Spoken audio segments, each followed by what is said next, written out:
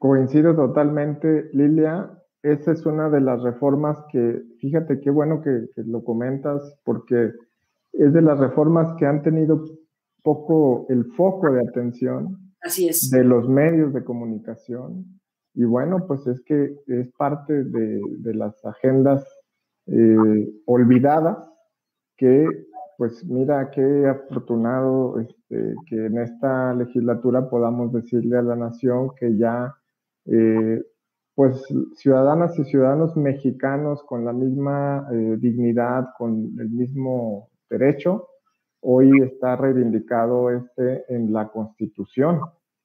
Es uno de los grandes avances y que a partir de ese derecho tiene que hacerse visible y yo creo que lo está haciendo.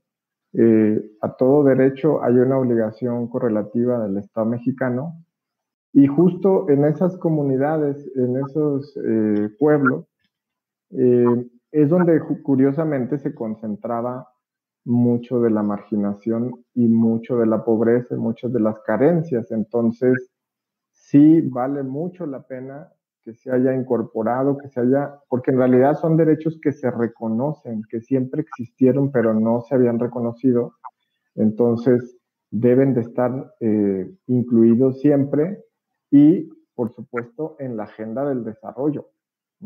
Ese derecho se tiene que cumplir y es de los eh, pueblos eh, afromexicanos, que la verdad es que sí, es de los grandes, eh, de los grandes avances en materia de derechos ciudadanos